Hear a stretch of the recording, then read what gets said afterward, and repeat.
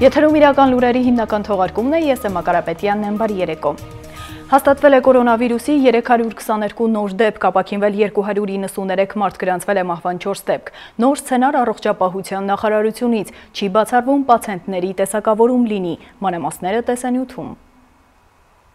Հայաստանում անցած մեկ օրում կորոնավիրուսի դեպքերի թիվն աճել է 322-ով, հասնելով 5928-ի, գրանցվել է հիվանդությունից մահվան եւս 4 դեպք։ Հաղորդում է առողջապահության նախարարության հիվանդությունների վերահսկման եւ կանխարգելման ազգային կենտրոնը։ Կենտրոնի պաշտոնական կայքեջում հրապարակված տվյալների համաձայն հիվանդությունից բուժվածների թիվն ավելացել է 293-ով եւ հասել 2874-ի։ Ըստ նույն աղբյուրի իրականացված թեստավորումների ընդհանուր թիվը 47654 է։ Մահվան դեպքերի վերաբերյալ առողջապահության նախարարության նախարարությունը հայտնում է, որ պացիենտները եղել են 52, 61, 81 եւ 82 տարեկան տղամարդիկ եւ ունեցել են ուղեկցող քրոնիկական հիվանդություններ։ Նախորդ օրը արձանագրվել է մավան 1 դեպք, երբ պացիենտի մոտ հաստատվել է կորոնավիրուսային վարակ, սակայն մահը վրա է հասել այլ հիվանդության պատճառով։ Մահացածների ընդհանուր թիվը հասավ 74-ի, կորոնավիրուսով վարակված եւս 28 անց ըստ առողջապահության նախարարության մահացել է այլ պատճառներով։ Այսպիսով կորոնավիրուսային հիվանդությունից տվյալ պահին Հայաստանում բուժվում է 2952 մարդ։ Առողջապահության նախարար Արսեն Թորոսյանը Facebook-յան իր էջում կորոնավիրուսային հիվանդությանը բնորոշ սուբյեկտիվ եւ օբյեկտիվ ախտանիշների մասին էր այսօր գրառում արել։ Ըստ նրա օբյեկտիվ կարևոր ախտանիշներից մեկը այրան թթվածնով հագեցվածությունն է կամ ինչպես բժիշկներն են ասում թթվածնի սատուրացիան։ Այն նորմայում պետք է լինի 95%-ից բարձր եւ դա նշանակում է, որ թոքերում թթվածնի փոխանցումը այրան մեջ տեղի է ունենում բավարար քանակով եւ օրգանիզմում թթվածնաքաղց չի առաջանում։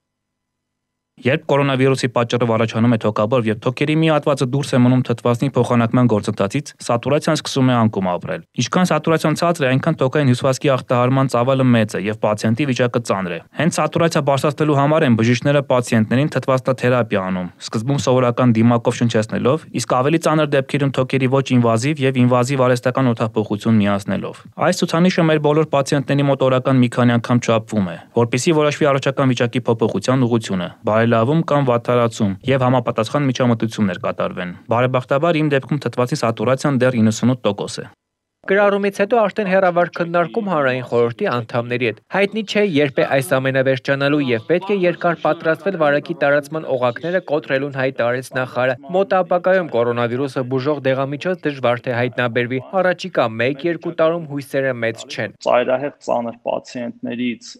45%-ը մոտավորապես մահանում է եւ 55%-ը առողջանում է Նաև մեր վիճակագրությունը ցույց է տալիս, որ թոքերի արհեստական օթափողության սարքերի միացված քաղաքացիների մոտավորապես 90%-ը մահանում է եւ միայն 10%-ն է, որ այդ վիճակից դուրս է գալիս։ Անդրադառնալով կորոնավիրուսով ծանր դեպքերին նախարարն ասաց, որ այս պայն ունենք 202 ինտենսիվ թերապիայի մահճակալ մոբիլիզացված հիվանդանոցներում, որից զբաղված է 152-ը։ Արսեն Թորոսյանը չբացառեց, որ կորոնավիրուսով հիվանդների բուժման խորը սորտավորման անցում լինի նույնիսկ մոբիլիզացված ռեսուրսները հնարավոր է ինչ որ մի պահի չհերիքեն եւ այդ դեպքում իհարկե մենք ունենք մեր մարտավարությունը, բայց դա ամենաանցանկալի բանն է, որ մենք կուզենայինք որ տեղի ունենա, դա առողջապահական ամբողջ համակարգի ներգրավումը process-ի մեջ։ Բոլոր հիվանդանոցների, բոլոր ռեանիմացիաների, բոլոր ամբողջ բժշկական անձնակազմի դա կարա լինի անխուսափելի, ինչպես շատ երկրներում, եթե մենք շարունակակար ունենանք նման բարձր թվեր։ Դա իհարկե ստիպված քայլ կլինի, բայց նաև իր հետ բերելու է ավելի վատ ինչ որ առումով սցենարների բուժաշխատողների վարակվածության առումով, քանի որ նրանք անխուսափելիորեն վարակվելու են։ Մենք մինչ օրս ունենք մոտարպես 350 բժշկական բուժ աշխատող վարակված, որոնց իհարկե հուսով եմ բոլորը կարողջանան եւ որևէ բադ ելքով դեպք չենք ունենա եւ այդ իմ ասած սցենար դեպքում է թիվը էականորեն կավելանա Նաև մի վատ բան կարող է տեղի ունենալ, որ հիվանդանոցներում բուժվող այլ քրոնիկական հիվանդություններով ծանր քաղաքացիները ներ հիվանդանոցային վարակի աղբյուր աղերների հիվանդացության վարակի պատճառով կվարակվեն եւ իրանց առողջական առանց այն էլ վատ վիճակը կվատթարանա նաեւ կորոնավիրուսով։ Հանրային խորհրդի արցած նիստի ժամանակ Արսեն Թորոսյանն անդրադարձավ նաեւ Վրաստանում կորոնավիրուսային համավարակի հետ կապված իրավիճակին։ Նախարարը չժխտեց, որ Վրաստանում սահմանափակվող միջոցառումներն ավելի խիստ եւ ուժեղ են իրականացվել, այդ թվում մինչ օրս։ Նա նշեց, որ Վրաստանում կա նաեւ մեթոդաբանության տարբերություն այն քաղաքացիների, որոնք ընդհանրապես թեստավորվում են։ Ու դարձյալ հարց թե ինչու զանգվածային թեստավորում չի իրականացվում։ Թորոսյանն ասաց, թեստավորվում են նրանք, որոնց վերաբերյալ հատուկ ցուցում կա, քանի որ բացառված չէ, որ այսօր բացասական թեստավորմամբ քաղաքացու մոտ վաղը կարող է կորոնավիրուս հաստատվի։ Մենք թեստավորում ենք ցուցումներով, այսինքն մենք առանց տեստը անելու ասում ենք հարգելի քաղաքացի քո մոտ ամենայն հավանականությամբ կորոնավիրուսը արի քեզ տեստավորենք ու եթե 100-ից 100-ը դրական լինի այդ նշանակում է որ մենք նույնիսկ ախտանիշներով լավ կարողացել ենք իրանց գտնել, բայց իհարկե այդ թիվը հեռու է 80%-ից։ Պարտադիր դիմակներ կրելու մասին էլ պատասխանը նույնն էր, այն նվազեցնում է վարակի ներթափանցումը։ Փայլակ Ֆարադյան, իրական լուրեր։ Պարետ Տիգրան Ավինյանի մայիսի 21-ի որոշմամբ փոփոխություններ են կատարվել 2020 թվականի մայիսի 18-ի որոշման մեջ։ Հայաստանի Հանրապետության ոչ տարածքում ինքնամեկուսացման պահանջ է սահմանվում արտերկից ժամանող անձանց, ինչպես նաև COVID-19 վարակակիր անձի հետ համատեղ ապրող անձանց կամ նրա հետ սերտ շփում ունեցած կոնտակտավորի համար։ Անչափահաս երեխաների ինքնամեկուսացման պահանջի պահպանման պատասխանատվությունը կրում են ծանոթագիրը ստորագրած անձինք։ Վարակակիր անձի հետ համատեղ ապրող անձանց կամ նրա հետ սերտ շփում ունեցած կոնտակտավորի նկատմամբ ինքնամեկուսացման պահանջ ներկայացվում է, իսկ բոլոր ինքնամեկուսացված անձանց նկատմամբ անկախ ինքնամեկուսացման հիմքից ինքնամեկուսացման ռեժիմի պահպանման նկատմամբ վեր վերահսկողություն իրականացվում է Հայաստանի Հանրապետության կառավարության 298-N որոշման հավելվածի 8-րդ բաժնով սահմանված կարգով։ Հայաստանի Հանրապետություն ժամանող անձինք մինչև Հայաստանի Հանրապետության սահմանը հատելը պարտավոր են սահմանային անցակետ ներկայացվող այլ փաստաթղթերի հետ միասին ներկայացնել իրենց կողմից ստորագրված ծանոթագիրը ինքնամեկուսացման կանոնները խախտելու համար սահմանված պատասխանատվության մասին։ Հայաստանի Հանրապետություն ժամանող անձինք պարտավոր են ստորագրել ինքնամեկուսացման կանոնները խախտելու համար նախատեսված պատասխանատվության մասին ստորագրված ծանոթությունը։ Տարածքային կառավարման եւ ենթակառուցվածքների նախարար Սուրեն Պապիկյանի մոտ կորոնավիրուսի արկայությունը հերքվել է։ Թեստի արդյունքը բացասական է։ Հիշեցնեմ Զարուհի Բաթոյանի թեստի պատասխանը եւս բացասական է։ Նա ինքնամեկուսացած է։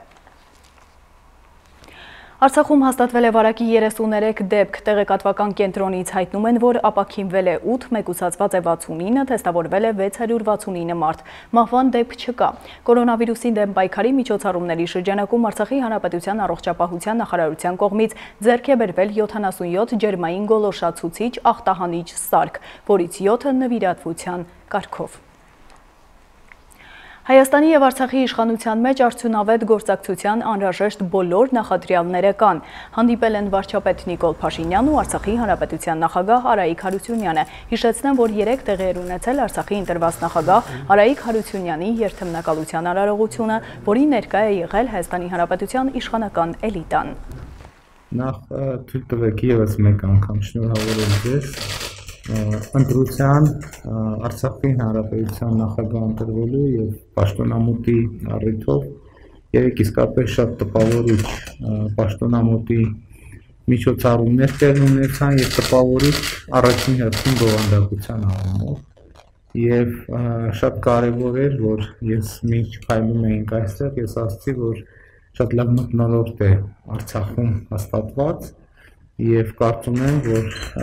խնդիրը մեր խնդիրը այս մտնոլորտը այս մակարդակի վրա պահելն է եւ ավելի զարգացնելը եւ իհարկե շատ կարեւոր եմ համարում, որ մեր Արցախի եւ Հայաստանի իշխանությունների միջեւ արդյունավետ համագործակցություն տեղի ունենա եւ դրա համար կան բոլոր անհրաժեշտ նախադրյալները ու համոզված եմ այդպես է կլինի։ Այն նախադրյալները, որ այսօր ստեղծված է Արցախում, ոչ միայն բարոյական կենտրոնական, այլ նաեւ պետության զարգացման սոցիալական ծրագրերի հայրադատության առումով ամեն ինչ հնարավոր է իրականացնել իհարկե համատեղ աշխատանքիչներից։ Վարչապետ Նիկոլ Փաշինյանը, Արցախի Հանրապետության նախագահ Հարայիկ Հարությունյանն ու բանկային համակարգի ներկայացուցիչները քննարկել են գործակցության ընդլայնմանը եւ տնտեսության խթանմանը վերաբերող հարցեր։ Իրականում հույսերներս դնել միայն պետական բյուջեի ֆինանսավորմամբ տնտեսության աջակցության առումով, մանավանդ որ առաջիկայում մենք նախատեսում ենք շատ ավելի մեծ զարգացման տեմպեր ապահովել, իսկ միայն երկու կառավարությունների ֆինանսական միջոցները թույլ չեն տալու։ Դրա համար պետքա լինելու ավելի ագրեսիվ, ավելի հավակնոտ ծրագրեր իրականացնել։ Շատ կարևոր է արձանագրել, որ վերջին 10 տարվա ընթացքում Արցախում բանկային ենթակառուցվածքի բավականին լուրջ զարգացում է տեղի ունեցել եւ այդ զարգացումները կարծում եմ շատ էական նշանակություն են ունեցել տնտեսական այն հաջողությունների համար, որոնք արձանագրվել են Արցախում եւ մենք այո պետք է քննարկենք մեր հետագա անելիքները, որովհետեւ տնտեսական այն հավակնությունները, որ մենք ունենք, համատեղ տնտեսական հավակնությունները, որ ունենք, հնարավոր չի լինի իրագործել, եթե այդ բովանդակությունը ընկալված չլինի բանկային համակարգի կողմից եւ ինչ որ առումով այդ բովանդակությունը պետք է համատեղ ձևավորվի կարող են լինել տարբեր գաղափարներ, տարբեր մոտեցումներ եւ ուզում եմ ասել, որ հակաճգնաժամային այս ժամանակաշրջանում մենք նաև դրա փորձը ըստ էության կիրառեցինք, երբ որ եւ կառավարությունը, բանկային համակարգը, նաև խորհրդարանը մի սեղանի շուրջ նստած ներկայացուցիչները մի սեղանի շուրջ նստած քննարկում էին եւ շարունակում են քննարկել ընդհանուր գյուղատնտեսության զարգացման հարցեր, ճգնաժամը հաղթահարելու զարգաց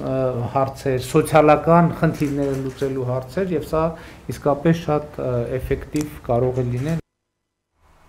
Մի լուսանկարի պատմություն. Ազգային ժողովի փոխնախագահ Հալեն Սիմոնյանն անդրադարձել է Արցախում տեղի ունեցած տոնական ճաշկերույթի լուսանկարի հասարակական արձագանքին։ Հիշեցնեմ տարածված այս լուսանկարներն առաջացրել են հասարակական դժգոհություն այն պատճառով, որ բարձրաստիճան պաշտոնյաները չեն պահպանել սոցիալական հերավորությունն ու չեն գրել դիմակներ։ Լուսանկարը արված է Արցախի հանրապետությունում, որտեղ գործում է այլ իրավական ռեժիմ եւ պարետի ինչպես նաև իրավիճակի կտրուկ տարբերություն կա, բարետի որոշումները, ինչպես նաև այդ թվերը Արցախում, Հայաստանում բավականին տարբեր են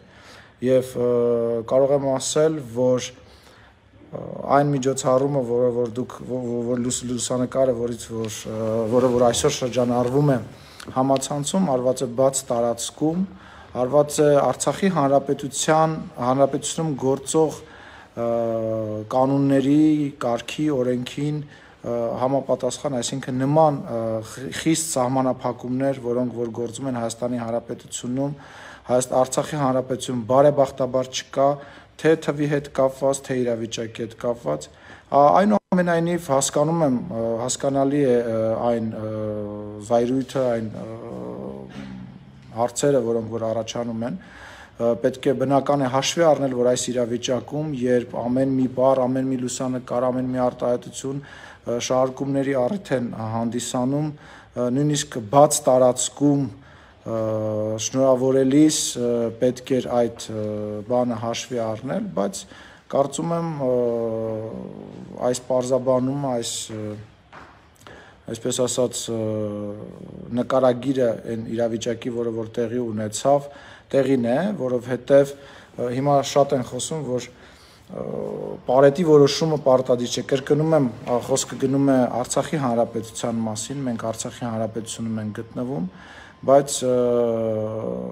միևնույն ժամանակ կարծում եմ պետք է բոլորս ուշադիր լինենք, շարունակենք ուշադիր լինել եւ պահպանենք եւ օրինակ ծառայենք մնացած բոլորի համար այդ սոցիալական հերավորությունը, ինչպես նաեւ դիմակների կրումը, նույնիսկ նման իրավիճակներում լավադիր եղեք, կարծում եմ, որ մենք բոլորս այս իրավիճակում պետք է հետևություններ անենք ամեն ինչից եւ մեր չգիտեմ, սխալների բարձթողումների վրա սովորենք, կրեք դիմակները, դրանք պարտադիր են։ Հիմա հասկանալի է, դիմակ չեմ կրում ձեր հետ խոսելիս, բայց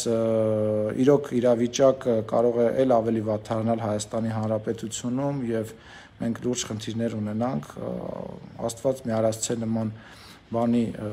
հասնենք, որովհետեւ մինչ օրս մենք դեռ կարողանում ենք դիմակայել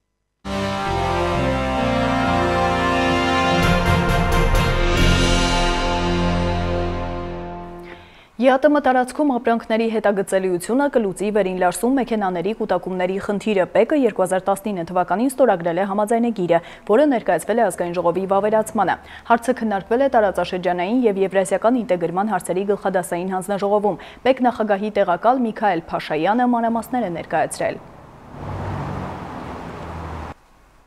Մենք ընդհանրապես Եվրասիական տեսական հանձնաժողովի պլաշատկաներում, այսպես ասած,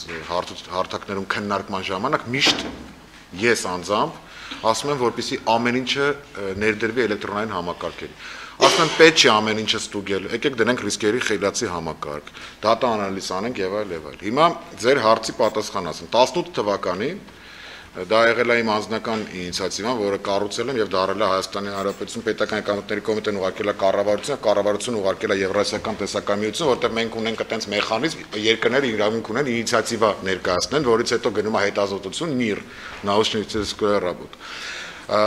մենք ներկայացրել ենք հետեւյալը взаимное признание сопроводительных документов այսինքն փող ուրեմն փող ճանաչում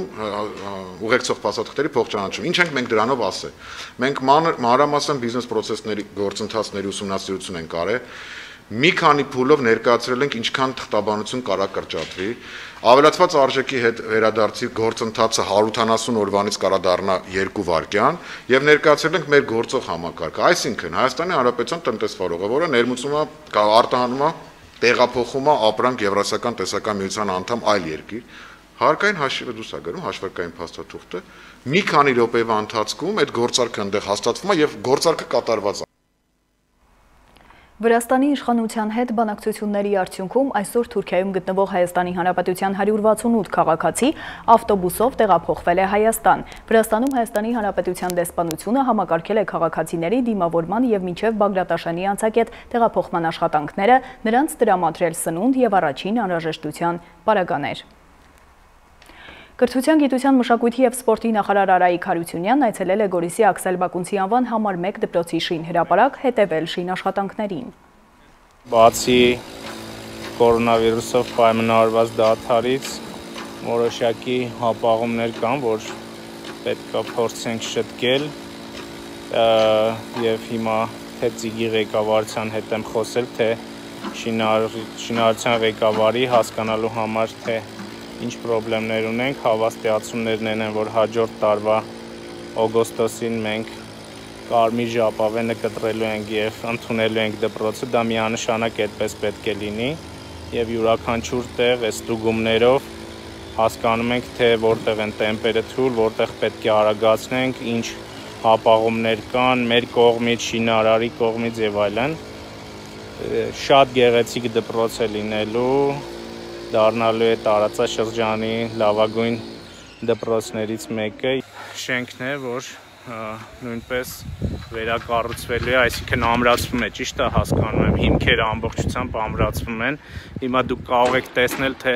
պատերը ինչպես են ամրացվում, վերից վար ամբողջությամբ նոր ցանցեր են կապվում եւ շենքը բերվում է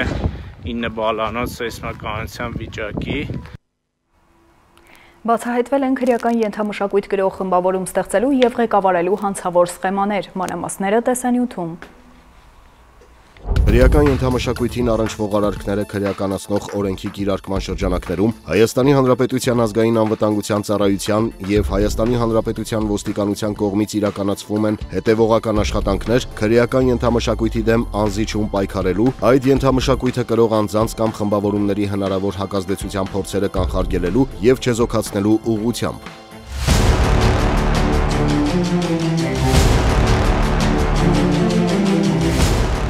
Արդյունքում ստացված փաստական տվյալների հիման վրա Հայաստանի Հանրապետության ազգային անվտանգության ծառայության քննչական դեպարտամենտում 2020 թվականի մարտի 13-ին Հայաստանի Հանրապետության քրեական օրենսգրքի համապատասխան հոդվածներով հարուցված քրեական գործով մեծածավալ քննչական եւ այլ դատավարական գործողությունների, ինչպես նաեւ դրանց զուգահեռ Հայաստանի Հանրապետության ազգային անվտանգության ծառայության եւ Հայաստանի Հանրապետության ոստիկանության ուժերի կողմից ձեռնարկված համալիր օպերատիվ հետախուզական արդյունավետ միջոցառումների շնորհիվ հնարավոր հնարավոր է եղել բացահայտել. Քրեական աստիճանակարգության բարձրագույն կարգավիճակ ունեցող անձանց կողմից քրեական ենթամշակույթ կրող խմբավորում ստեղծելու եւ ղեկավարելու, քրեական ենթամշակույթ կրող խմբավորմանը մասնակցելու կամ ներգրավելու, քրեական ենթամշակույթ կրող խմբավորման մասնակցին կամ քրեական աստիճանակարգության բարձրագույն կարգավիճակ ունեցող անձին դիմելու հանցավոր սխեմաներ։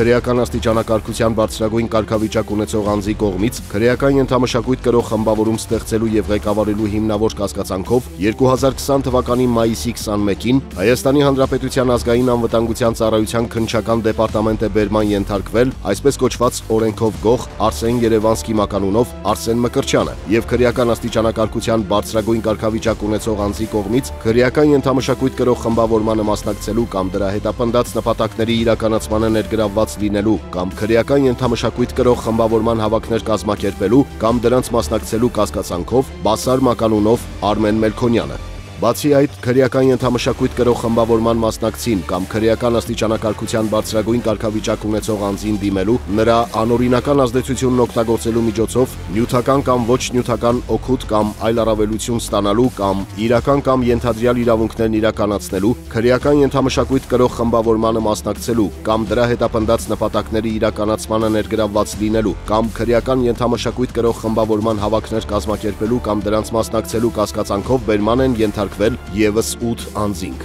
Վերոնշյալ անձանց բնակարաններում եւ ավտոմեքենաներում կատարվել են ընդհանուր թվով 22 խուզարկություններ, որոնց արդյունքում հայտնաբերվել եւ արգրավվել են առանձնապես խոշոր չափերի գումարներ, թմրամիջոց, ինչպես նաեւ քրեական գործի համար նշանակություն ունեցող այլ առարկաներ։ Նախաքննական մարմնի կողմից բերման ենթարկված անձանցից 7-ը Հայաստանի Հանրապետության քրեական դատավարության օրենսգրքով սահմանված հիմքերի արկայության պայմաններում ձերբակալվել են, իսկ 3-ի նկատմամբ խափանման միջոց է կիրառվել ստորագրություն չհեռանալու մասին։ Ձեռնարկվում են ակտիվ միջոցառումներ հանցավոր սխեմայում ներգրավված անձանց կողմից այլ հանցավոր գործողությունները բարձելու եւ խափանելու ուղղությամբ։ Ծանուցում Ենթադրյալ հանցանքի մեջ կասկածվողը կամ մեղադրվողը համարվում է անմեղ, քանի դեռ նրա մեղավորությունն ապացուցված չէ Հայաստանի Հանրապետության քրեական դատավարության օրենսգրքով սահմանված կարգով դատարանի օրինական ուժի մեջ մտած դատավճռով։ Ռուբեն Հայրապետյանի որդու նկատմամբ հետախուզում է հայտարարվել. Քնչական կոմիտեից հայտնում են, որ պարզվել են Հայրապետյանի նրա որդու եւ ընկերների կողմից իրենց պատկանող հարսնակար համալիրի գործադիր մարմնի ղեկավարի նկատմամբ առերևույթ կատարված ինքնիրավչության նրան ազատությունից ապօրինի զրկելու դեպքի մի շարք հանգամանքներ, որոշում է կայացվել նրանց մեղադրյալ ներգրավելու մասին։ Աշխարհում կորոնավիրուսով վարակվածների թիվն անցել է 5 միլիոնից գրեթե 330 հազար մարդ մահացել է, բուժվել է մոտ 2 միլիոնը։ Առաջատարը դարձյալ Միացյալ Նահանգներն է նախագահ Թրամփը հայտարարել է, որ առաջիկա օրերին դաշնային կառավարման շենքերի եւ ազգային հուշարձանների վրայի դրոշներն իջեցվելու են որպես սքո նշան՝ ի հիշատակ կորոնավիրուսը կորոնավիրուսից մահացածների։ Վիրուսն այժմ ամենաարագը տարածվում է Լատինական Ամերիկայի երկրներում, հատկապես Բրազիլիայում տարածման օջախ կարող է դառնալ նաև Աֆրիկան։ Վրաստանում էլ այսօրվանից չեղարկվում է արտակարգ դրությունը։ Երկու տարի առանց նրա այսօր լեգենդար շանսոնյան կդառնար 96 տարեկան, չնայած խոստացել էր 100-ամյակը բեմում նշել։ Ազնավուրը հազարից ավելի երկի հեղինակ է վաճառվել են նրա միլիոնավոր ձայնասկավառակներ, անմասն չի մնացել նաև ֆիլմերից։ Ֆրանսիայի ամենակարևոր դեմքերից մեկը, այսպես է անվանել Մակրոնը հաշմանդամների տանը Ազնավուրի հուղարկավորության ժամանակ։ Հիշարժան եւ ուշագրավ դրվագներ լեգենդի կյանքից հենց հիմա։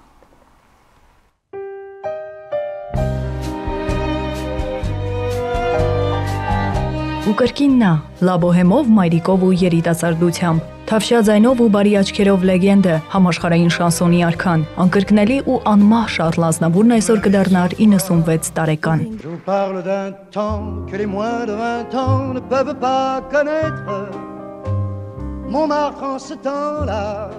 Պիաֆի սիրելի բարդութավորված կասկածամիտ ու փոքրամարմին շահնուրը նվաճեց աշխարը։ Շարլ դը Գոլն իր կանխատեսումներում չսխալվեց avec un brin de nostalgie, je nourris mon ancien pick-up de vinyle que j'avais acquis. Պատվով հաղթահարեց դժվարուղին, բացեց երեսին փակված դռներն ու ջնջեց հեգնական ժպիտները, պայքարեց ու հաղթեց։ Au rythme joyeux quand les corps se confondent Աշխարհի մեծ բեմերում ելույթից առաջ հանդիսատեսը շունչը պահած սպասում էր։ Դրանք սիրո, քնքշության ու կարոտի ժամեր էին։ 7 լեզվով էր դիմում հանդիսականին, յուրաքանչյուրին յուրովի էր նվիրում այն ինչ զգում էր ու իր միջով անցկացնում։ Լավ երկեր կարողանում եմ գրել, երբ սիրելիից բաժանվում եմ։ Հիմա ճիշտ է, ամուսնացած եմ, բայց լավ հիշողություն ունեմ։ I have a good memory.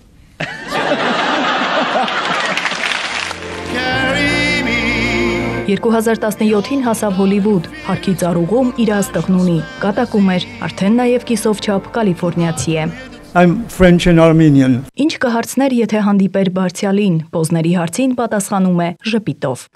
Ինչ կարող եմ ուրիշ ասել։ Հետո նա պետք է խոսի։ Նա էլ քիչ սխալներ չի արել։ Արժե որ ինքն էլ բարձաբանի։ Եվ Հազարից ավելի երկերի հեղինակի սկավառակները վաճառվում էին միլիոնավոր օրինակներով։ Մեծանուն շանսոնյեն գրել է բանաստեղծություններ, որոնք թարգմանվել են տասնյակից ավելի լեզուներով։ Մեծը մեծ էր նաև կինոյում։ Ազնավուրը մարմնավորել է 60-ից ավելի կերպարներ։ Կյանքում էլ պետք է կարողանալ մի փոքր խաղալ։ Ինքը սովորել էր։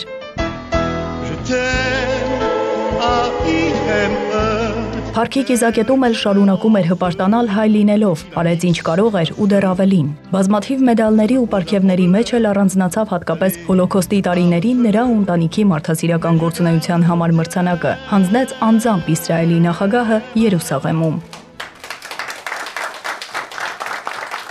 La Boheme was our song Ազգային հերոսն այստեղ էլ պահը բաց չթողեց, ռետորական հարց ուղեց, պատասխան չակնկալելով։ Ինչու չեք ընդունում հայոց ցեղասպանությունը։ Սիրո դեսպանը խոստացել էր 100-ամյակը բեմում նշել։ Դեռ 10 տարվա ծրագրեր ուներ։ Հայրենիքում շանսոնիային անակնկալ էր սպասվում։ Քեզ համար ազնավուր համերգից հետո խոստացավ վերադառնալ նոր ծրագրերով։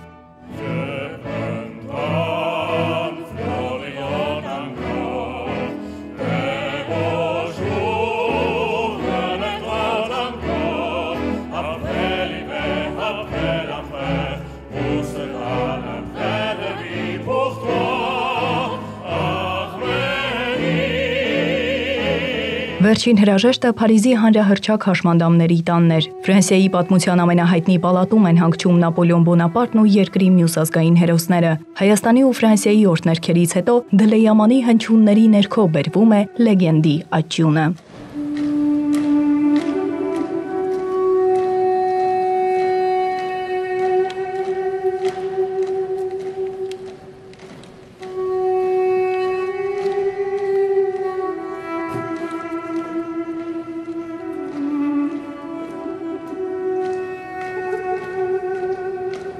Աշխարհի երկչին ճանապարհեցին այնտեղ, որտեղ արևն է ցակում։ Հրաշքների աշխարհ, ինչպես ինքն էր ուզում։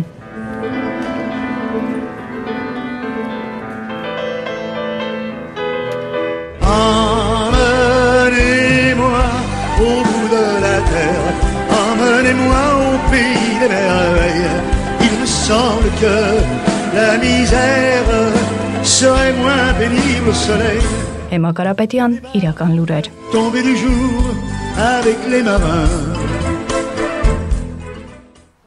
Զարմանալի դեպք Վարշավայի կենթանաբանական այգում արփած տղամարդը մուտք է գործել արջի ազատավանդակ ու սպասել հարցակմանը։ Երբ կենթանին հարցակվել է, տղամարդը ցատկել է ազատավանդակի բաժանարար ջրանցքը կենթանի նրա հետևից, ապա նա հարցակվել է արջի վրա, կենթանին նահանջել է։ Պարզվել է, որ արջը նախքին կրկեսային կենթանի է, ինչով էլ պայմանավորված էր նրա նահանջը։